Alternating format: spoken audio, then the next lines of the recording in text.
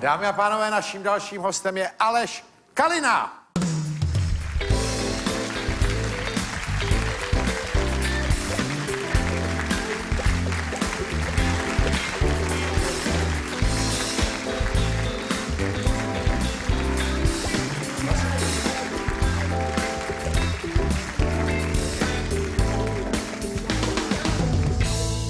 Pan Aleš Kalina, abych vás stručně představil, pracoval řadu let společnosti Microsoft, pak jste to opustil sám a začal jste se věnovat vlastně coachingu, nebo Ano. dospěl jste ke coachingu Dospěl.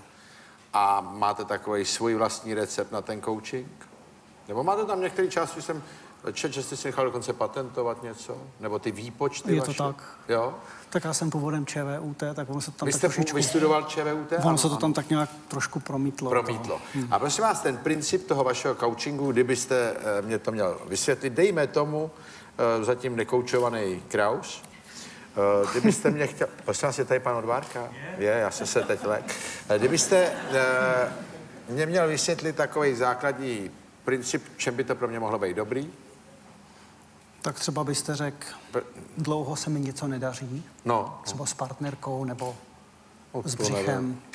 Třeba. Počkej, vy jste hned útočnej takovej. Ne vůbec. To je součástí z toho, s čím já bojuju právě ten. Jo. No ne, ale tak, že bych řekl, něco se mi nedaří, přicházím za vámi a vy mě s tím pomůžete. Přesně tak. A to právě je to, že třeba s partnerkou se vám něco, nebo No, tam to vám... klape na dočekávání, ale... Klape. No, líp, než jsme čekali. Ale eh, já jsem u vás koukal, že vy říkáte, že i lidi často nemají peníze, že i v tom se jim dá pomoct, to myslím, že by zajímalo hodně lidí. Určitě, no tak A víme, jak- že ten národ trošičku by potřeboval pomoct, určitě No, tady a jak třeba pomoct někomu, když si stěžuje, že nemá peníze, skoro hluboko každý. do kapsy. No, Tak třeba tak, že nejvíc, čím lidi mývají problémy, když mají hluboko do kapsy, No. no. je to, že je doma blbě nastavili na to, jak se k těm penězům chovat třeba. Takže třeba jim říkali, víš co, ale ty peníze na stromech nerostou. A pro penízky se musí pracovat. Jo, tyhle pořekadla, tyhle bez práce nejsou koláče. Bez práce nejsou koláče. A tady Čili to jsou všechno kraviny. No, jistým způsobem ano. Ježíš Maria. Hmm. Jste mi řekl brzo teda. Já s No. tím taky prudím doma. No. A Furt o koláčích. K koláčích, no. A to byste nevěřil, kolik lidí třeba, když se jim to v té hlavě tak nějak trošičku vymázne, No. tak oni potom začnou třeba vydělávat víc. Když se jim tohle vymázne. Vymázne. A jako, to znamená, na to neboj se bude dost, jako nebo? No to jsou právě ta metoda, kterou používám, právě tady to jakoby pracuje s lidskou hlavou. No. Že když třeba doma jste viděli chudýho tatínka, chudou maminku, jak oni to museli oddřít všechny ty peníze, No. tak to děcko se to naučí a chodí tou samou cestou, aniž by to třeba chtělo. Jde si dobrovolně do chudoby. Jde si dobrovolně. ano. Šiš, dobrovolně Maria, do to je chudoby. cesta teda. No. no a No dobře, a když se v takové rodině narodí, no tak co on má dělat? On si nemůže No. říct, jo, já se na ně vykašlu na chudáčky a budu bohatý. Často, no právě, Dobře, ale tak na druhou stranu tohle se bere takový výchovný prvek. Vysvětlovat dětem, že to není snadný, že vydělat peníze člověk musel pracovat a to. No tak tohle, to, co vy mě říkáte, tak to vypadá, že to je nesmysl. To je jedno, uvidíš, bude ti dobře, ale budeš se mít dobře. A hlavně mm, si nezamaž hlavu těma ale koláčema. zrovna- Je třeba zvláštní vyspovídat děti, které jsou z bohatších rodin, jaký mají třeba postoj k penězům, takže oni to zase berou úplně normálně. A když pak porovnáte to, co si nesou ty dětičky z těch chudších rodin vůči těm, kteří jsou z těch bohatších, tak ty děti od začátku už jsou jakoby programovaný, nastavovaný No dobře. já vím, ale tak jako já si to... Tak rozumíte, když máte odmala úplně jinou koloběžku než ty druhý, tak nemůžete mít v hlavě programek těch, co mají koloběžku prostě s perfektníma kolama, To se když nedá. vy máte o 20 let starší koloběžku. Přesně tak. A řekl jste, to nevadí, je nám dobře na vzduchu, jako, nebo, jako, nebo jednou budu mít jaký tuhle kolobrdu, až mi bude 30. a často, často se s tím potkávám. No a to jsou peníze. No a s tou partnerkou, jak jste si tak S tou troufale partnerkou to řekl, funguje úplně stejně. Vy vidíte nějak maminku, nějak vidíte tatínka a teď platí takový jednoduchý vzorec, že když mu náhodně 70% z toho, co jsem viděl doma, tak se mi to promítne do toho mýho nového životního partnera. My se to tam teď promítáme, nemám to tam. No, takže když třeba vezmete, že jste něco zažil s maminkou a něco jste zažil s tatínkem, tak vlastně ta vaše partnerka bude hodně podobná tomu, co jste zažíval s maminkou a s tatínkem doma. Ne. To nemám. Tak potom A vy budete... to máte? Jo. Jo? No to bych chtělo vymáznout. Velká pravda.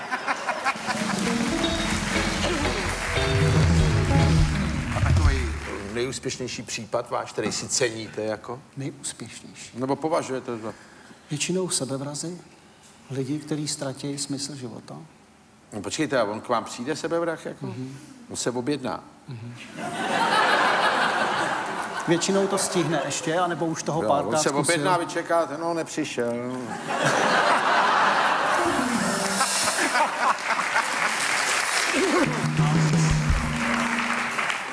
Říkal, že tu bude ve čtyři, no. A nepřišel. Těším záchranku, tak to už nepřijde. No, to jsou právě ty stresy, který ten coach má. Že vlastně ten klient jako nemusí dorazit. No tak když, nebo Jako sebevraha, když jde tam... po někoho, kdo už měl třeba šňůru léky, nebo se... To jsou, a ono to není lehký, já nevím, jestli jste někdy byl v takovém stavu. Já třeba jo, Jo. že jsem nechtěl žít, no. A to není easy, to jako nevíte, jestli skočíte, neskočíte. Jsem stál na Orlický přehradě tenkrát a taky to nebylo jednoduchý. Tak to já neměl. No. Já měl spíš, že mě strkali, abych někam spadnul a... Já jsem říkal, já vím, No. kurvy, ale bránil jsem se. No, takže já vím, ty sebevrazy, to, to není nic jednoduchého, že? Tak No dobře, ale kdybych já třeba chtěl coaching, tak se k vám můžu objednat. Můžete si objednat Vy mě budete účtovat hodinu coachingu, nebo jak hodinu, se... kou- většinou dvě rovnou, aby to stálo Dvě, to- jo. dvě. No to je jasný. Jenom tak řádově. Když už byste přišel, když už byste přišel, tak bychom to rovnou dali. Dvě hodiny. Radši dvě, Jenom tak řádově, co tak asi bych měl počítat, plus No, tak minus. kolem. 10 tisíc. Kolem 10 tisíc. Za dvě hodiny s tím, že domů už se vrátím vykoučovaný bez prachy.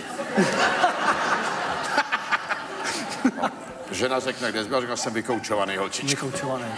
Ale to se často Ještě děje. bychom být přivožrali. No, Já ale jsem to- byla coachingu, ale...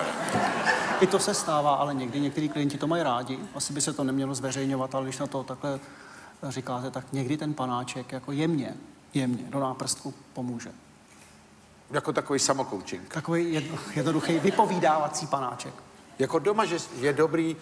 Ne doma, no na koučinku přímo. Jo, na kouči, jo, No. takhle, že bychom spolu chlastali a já bych chodil... A Tak já bych... řekla dobře jedna z našich koučů, velice dobře řekl, na co? Na co mi ty lidi, teď by stačila možná basa vodky a vyřešilo by se to samo. Ano. Ne, ale tohle je dobrý nápad, chodit k vám na coaching a vracet se malinko to a říct, dobře, jsem si opilý a mám k tobě nový vztah. Možná by pak přišla i ta paní časem. To možná, kdybych začal chlastat, to by přišla určitě. A možná i s policajtama. A e, chodí nějaký profese víc a nějaký míň? Jako, myslím, myslím právníci, nebo já nevím. To ne, to je ne. úplně ze celé škály, Celý od, škály. od vládních představitelů až po číšníky. Jo. A co když třeba přijde mladá krásná holka? To je problém. To je problém, jo. Prosím vás, co se stane? Jako? No, protože to je jako někdy nevíte, kam Najednou se... koučujete sebe, co? No. no je to tak? Tak máte nějaký koučovací kodex, No, jo, ten on je koučovací kodex. koučovací kodex, což A znamená- to převedete na koučovací a je to... to se někdy, jako ta klientka někdy i leží, protože se jí třeba udělá špatně. No, ale no, vy koučujete od rána do večera? Někdy jo. Jako když přijde hodně holek, tak si dáte Tak prodlouženou. si to protáhnu. Oni některý chtějí chodit brzo ráno, tak já většinou nezvládnu, to ještě spím, že jo, ale večer Ano. už jsem takový čilejší, takže někdy to protáhnu do večera. Tuhle se mi to z jednou stalo, že tam byla o hodinu, dá, o hodinu tam, o hodinu a půl tam byla díl a já o tom nevěděl. Vy jste o tom Já nevěděl. jsem o tom nevěděl, ona mi to neřekla. Že tam je. No, ne, že přetahujeme takhle Jo, že přetahujete, Takže ona tam byla aha. tři a půl hodiny. No možná jste byl tak rozkoučovaný, že vás se chtěla rušit. No. Já jsem se tak do toho jako zajel, že No. ona vůbec... Ale já bych to tak nepopisoval. Já bych to tak Ale to byl nepopisoval. jeden z nejhezčích koučinků, který jsme tenkrát měli. To věřím, že to byl nádherný coaching, ale... Ty jsme takový spořádaný pořád přece. A mm, e, ještě jedna věc. Máte někoho, koho máte leta třeba? Jako několik let? No, Jo. to taky. Náro... Většinou to bývají náročný manželky, jako jiných teda. Náročný manželky, jo. Takový ty ublížený, bolestivý, těžký rozvody, Aha. takový ty náročný nebo nechtěný třeba děti, takový ty lidi, kteří mají těžký život, Aha. tak většinou tam chodí. jsou, chodí, sedí tam díl, jako chodí díl. Jako tak. No a už vám třeba někdo jako poslal děkovný dopis, mm-hmm. jo? To se děje často. Jo. Že mu to pomůže. A třeba když má někdo problémy v práci, taky to může jít Taky může. Vyhoření, třeba ty, ty problémy, že člověk No. vyhoří, že ho některý podnikatelé jsou tím známí, že je vozej na jibku rovnou z kanceláře třeba.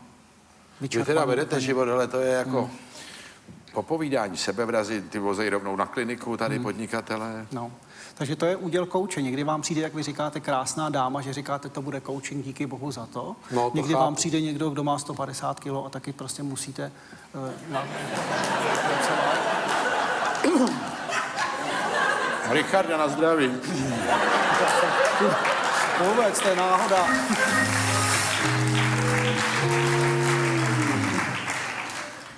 A třeba Richarda byste taky mohl koučovat. Mohl? Jo. Mm-hmm. A kam byste to koučoval?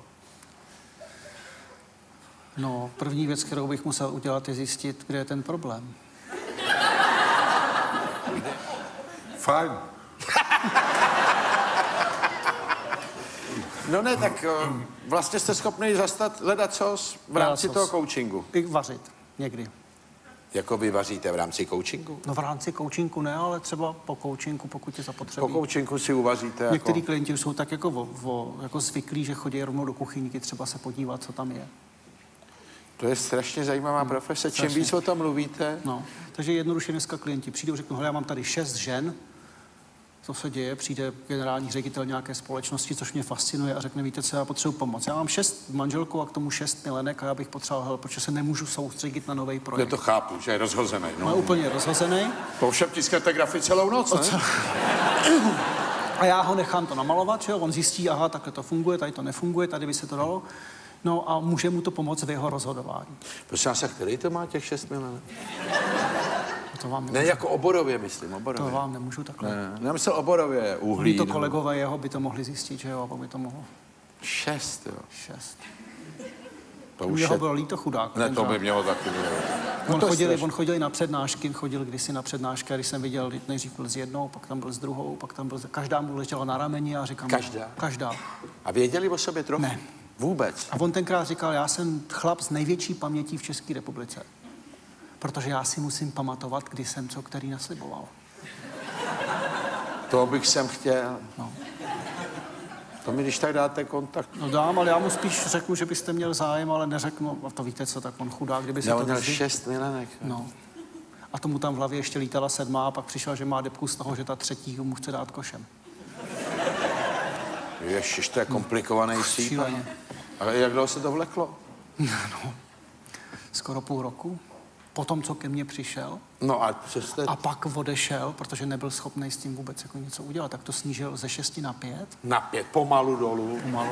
aby to nebylo šokový. No. A to bylo prostě, on pak chudák doma neuměl, ne, jako nemohl vůbec ani pracovat. On šel na jednu dovolenou, teď ta druhá taky chtěla smět na dovolenou, No, že jo? no tak bude. a on nevěděl chudák, teď manželka mu do toho volala, že je těhotná, on vůbec nevěděl, co s tím má dělat. Jemu volala paní, že je Že, těhotná. že zrovna už to zjistili a on jako říkal, no tak to je pěkný, že jo, tak nakoupil kitky a do toho mu volala ta čtvrtá, že jo, že by taky ráda něco. Prostě udělal To vy máte opravdu nádherný povolání. Někdy je to na hlavu, no. Znamená, čo, že člověk by nevěřil, že se tohle dá zvládnout vůbec. Mm-hmm. Teda myslím to jeho, Jako dá se zvládnout všecko, pokud ten člověk chce, když chce. když chce. Čili rezime je vymazat si tyhle starý vzorce, dát si tam ty nový, o prachy se nestarej, ty přijdou sami. Můžu si říkat, že přijdou sami? Můžete. No a když... A zhruba jak dlouho si to mám říkat, než si mám říct, tak asi nepřijdou, ne? Zavolám Kalinovi, nejdou, prachy. Jsou borci, kteří to dělají 20 let a furt nic. To jsou borci. Jsou borci. Klid, no, jednou přijdou. Jednou on to říkal. Tak, no, takže když to takhle nefunguje a zavolal byste mi po deseti letech, že furt nic, tak bychom zkusili najít nějaký další programky. Nějaký program. A já bych možná zkusil oběšeníčko. Aleš Kalina!